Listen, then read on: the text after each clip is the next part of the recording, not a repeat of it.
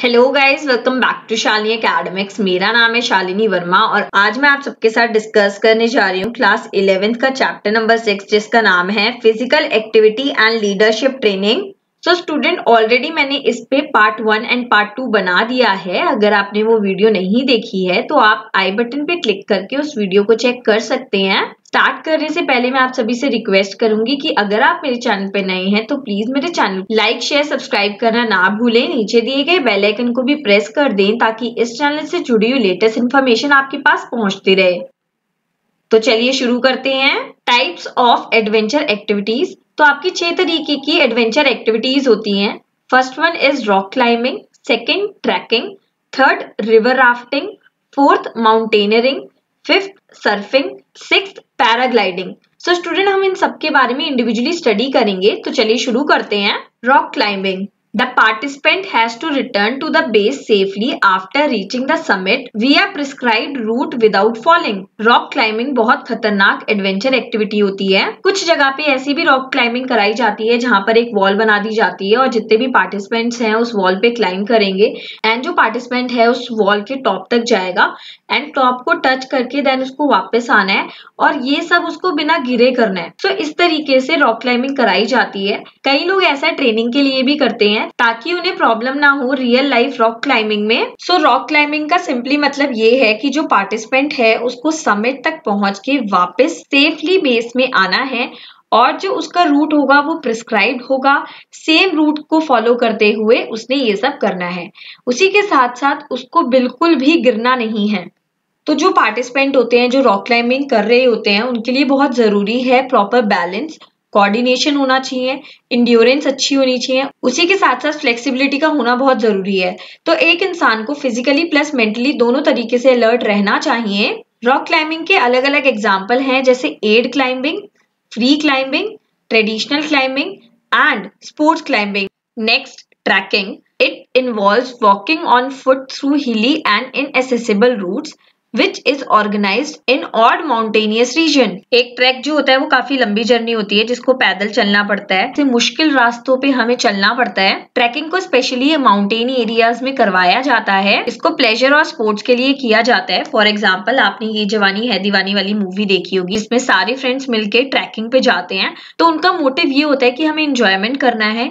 इसके लिए वो बड़े बड़े और ऊँचे ऊँचे पहाड़ को चढ़ते हैं। वो अपने खुद के रास्ते बनाते हैं। और वो ये सब अपनी अपनी हैप्पीनेस के लिए करते हैं। ट्रैकिंग का टाइम ड्यूरेशन एक दिन से कम भी हो सकता है प्लस एक महीने तक या उससे ऊपर भी पहुँच सकता है। ट्रैकिंग हमेशा ग्रुप में करनी चाहिए, उससे आपको काफ़ी ज़्यादा बेनिफिट मिलेंगे। उसी के साथ साथ आपका सेल्फ कॉन्फिडेंस काफ़ी ज़्यादा बढ़ जाएगा। एंड ट्रैकिंग आपके कार्डियोवास्कुलर सिस्टम को अच्छा करता है। Types of trekking easy trekking ये उन लोगों के लिए होती है जिन्होंने बस अभी अभी शुरुआत करी है। इसमें किसी भी प्रकार की डिफ़िकल्ट क्लाइंबिंग नहीं होती है। कोई बड़े बड़े पहाड़ नहीं चढ़ने होते हैं। सिंपल रास्ता होता है जिसपे उनको प्रैक्टिस करवाया जाता है। इसको एमेचर ट्रैक के नाम से भी जाना जाता है। Next moderate trekking moderate trekking easy trekking से थोड़ी सी डिफ़िकल्ट होती है। मॉडरेट ट्रैकिंग को परफॉर्म करने के लिए जो ट्रैकर है, उसका एनर्जेटिक होना बहुत ज़रूरी है। ये 10 से 12 दिन तक की हो सकती है। इसमें पार्टिसिपेंट्स को पहाड़ों पर ऊपर चढ़ाया जाता है प्लस उतारा भी जाता है। एंड ये थोड़ी सी ऊँची हाइट पे परफॉर्म कराई जाती है। नेक्स्ट डिफ़िकल्ट ट्रैकिंग इसमें इंसान को फिजिकली फिट होना पड़ता है, काफ़ी एनर्जेटिक होना पड़ता है और उसके अंदर काफ़ी ज़्यादा डिटर्मिनेशन होनी चाहिए कि मैं ये कर सकता हूँ। डिफ़िकल्ट ट्रैकिंग को करने वाला एक एक्सपीरियंस खिलाड़ी होता है। इसमें पाँच हज़ार तक की ऊंचाई पे चढ़ना पड़ता है और वो ऊंचाई काफ़ी ज़्यादा स्टीप होती है। मोर डिफ़िकल्ट ट्रैकिंग जो होती है, उसमें काफ़ी ज़्यादा एक्सपीरियंस खिलाड़ी की ज़रूरत होती है और इसको वो लोग करते हैं जो काफ़ी एक्सपीरियंस्ड होते हैं। इसमें ट्रैकर को एक महीने से भी ज़्यादा टाइम पहाड़ों पर बिताना पड़ता है तो उसको फिजिकली और मेंटली फिट होना बहुत ज़रूरी है, क्योंकि ये ट्रैक काफ़ी ज़्यादा लंबा हो जाता है और जितने भी ट्रैकर है, वो काफ़ी ज़्यादा ऊंचाई पे चढ़ते हैं और उनकी डिफिकल्टी उसी के अकॉर्डिंग बढ़ती चली जाती है। आप सभी जने जानते हैं, जितना भी हम ऊपर जाएँगे पहाड़ों पे, उतना ही ऑक्सीजन लेवल कम होता जाता है। तो ये सिर्फ़ एक एक्सपीरियंस खिलाड़ी ही कर सकता है। River rafting It is the boating in the fast flowing water in the mountainous course of the river. River rafting का मतलब ये है कि जब हम तेज बहते हुए पानी में बोटिंग करते हैं, उसी को ही रिवर राफ्टिंग कहा जाता है। पानी बहुत तेज़ी से फ्लो कर रहा है, उसके ऊपर बोट है। बोट में लोग बैठे हुए हैं और वो चप्पू चला रहे हैं। उसी को क्या बोला जाता है? रिवर राफ्टिंग बोला जाता है।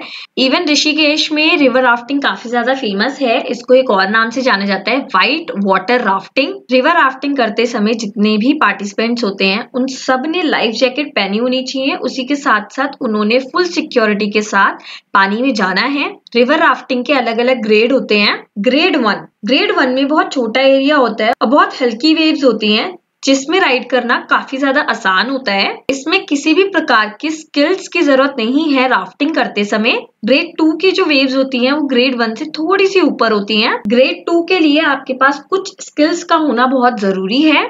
ग्रेड थ्री ग्रेड थ्री में बहुत स्ट्रॉन्ग वेव होती हैं और पानी बिल्कुल व्हाइट कलर का हो जाता है।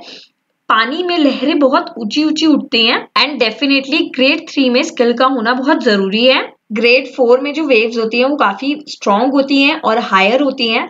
उसी के साथ साथ एंड पानी में रॉक्स एंड स्लोप्स भी होते हैं। तो ये स्टार्टिंग के तीन ग्रेड से थोड़ा सा डिफ़िकल्ट हो जाता है। एंड अगेन इसमें स्किल्स के साथ साथ एक्सपीरियंस का होना भी ज़रूरी है। ग्रेड फाइव ग्रेड फाइव में जो वेव होती है, वो काफ़ी लंबी लंबी होती है। एंड रॉक्स भी होते हैं और जो पानी का अमाउंट है वो बहुत ज़्यादा होता है यानी कि काफ़ी गहरी नदी होती है। एंड ग्रेड फाइव में काफ़ी ज़्यादा ट्विस्ट एंड टर्न्स होते हैं जिसमें काफ़ी ज़्यादा स्किलफुल एंड ट्रेंड इंसान ही इसमें राफ्टिंग कर पाएगा। ग्रेड सिक्स की जो राफ्टिंग है, वो बहुत ही ज़्यादा डिफ़िकल्ट हो जाती है। इसमें एक्सट्रीम डिफिकल्टी हो जाती है। इसमें डेथ का भी रिस्क होता है क्योंकि वेव्स काफ़ी लंबी लंबी होती हैं और ऊँची ऊँची होती हैं। ट्विस्ट एंड टर्न्स काफ़ी ज़्यादा होते हैं डिफिकल्टी लेवल काफ़ी ज़्यादा होता है तो एक्सीडेंट की पॉसिबिलिटी बढ़ जाती है। Mountaineering mountaineers cross the rock and ice using hands and feet and reach the summit. Mountaineering is the combination of climbing and hiking. इसमें माउंटेनियर को पहाड़ों पे चढ़ना पड़ता है। उसी के साथ साथ वहाँ पर बर्फ़ भी मौजूद होती है। तो उसमें डिफिकल्टी लेवल काफ़ी ज़्यादा बढ़ जाता है। क्योंकि आपने अपनी हैंड अपने फीट का यूज़ करते हुए आपने ऐसे पहाड़ चढ़ने हैं जहाँ पर बर्फ़ ऑलरेडी है। तो वो एरिया काफ़ी ज़्यादा स्लिपरी हो जाता है। देखो नॉर्मल रॉक क्लाइंबिंग करना थोड़ा आसान है। क्योंकि वहाँ पर जो पहाड़ हैं वो थोड़े फिक्स होते हैं। लेकिन आइजी रॉक पे चढ़ना जहाँ पर बर्फ़ है आइस तो ऑलरेडी ही थोड़ा स्लिपरी होती है तो ऊपर से पहाड़ चढ़ना, इसमें डिफिकल्टी लेवल और बढ़ जाता है। Individual should have endurance agility strength experience and strong mental power individual के पास endurance agility strength experience and strong mental power का होना बहुत ज़रूरी है। कुछ फ़ेमस माउंटेनियर हैं, जैसे बछेंद्री पाल तैन सिंह संतोष यादव। इन्होंने माउंटेनियरिंग में काफ़ी नाम कमाया है।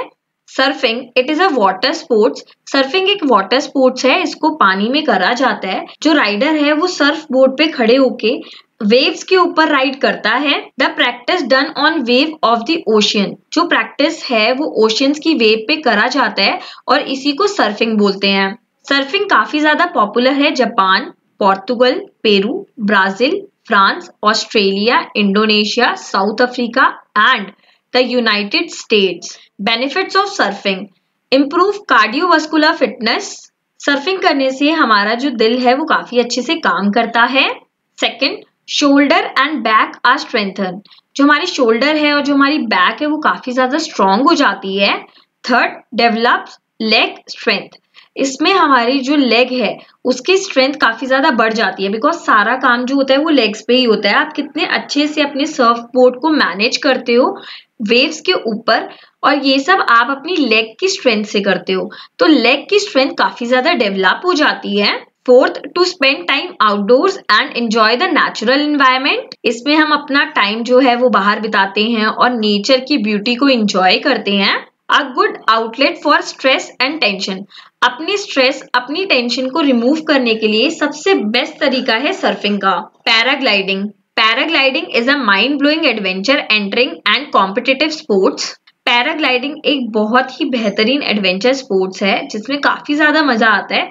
आपको एरोप्लेन में बिठा के आसमान में ले जाया जाता है एंड उसके बाद आपको वहाँ से जंप करनी होती है।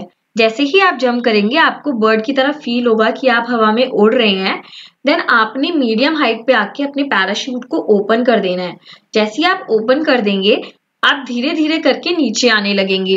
पैराग्लाइडिंग आपको उड़ने का एक एक्सपीरियंस देके जाता है एंड ऑनेस्टली ये एक्सपीरियंस काफ़ी ब्यूटीफुल होता है। एंड गाइस जो डरते नहीं है, जिनको किसी भी तरीके का डर नहीं है और जिनका दिल काफ़ी स्ट्रांग है, मैं उनको ज़रूर बोलूँगी कि आप ज़रूर जाइए, आपको बहुत अच्छा लगेगा। So the paraglider flies in the air with the help of paraglider आपके साथ एक प्रॉपर ट्रेन पर्सन भी होता है जो आपको गाइड कर रहा होता है एंड वो आपको प्रॉपरली नीचे ले आता है। डेफिनेटली इस चीज़ में रिस्क तो है। सो so, आप मुझे ज़रूर बताइएगा कि आपको इन छह एडवेंचर एक्टिविटीज़ में से सबसे बेस्ट एक्टिविटी कौन सी लगी और आप कौन सी एक्टिविटी को परफॉर्म करने वाली हैं?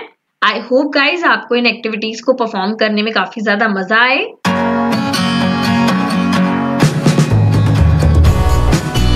सो so, अगर आपको मेरी वीडियो अच्छी लगी है यूजफुल लगी है सो so प्लीज़ मेरे चैनल को लाइक शेयर सब्सक्राइब करना ना भूलें। नीचे दिए गए बेल आइकन को भी प्रेस कर दें ताकि इस चैनल से जुड़ी लेटेस्ट इन्फॉर्मेशन आपके पास पहुँचती रहे। So thank you guys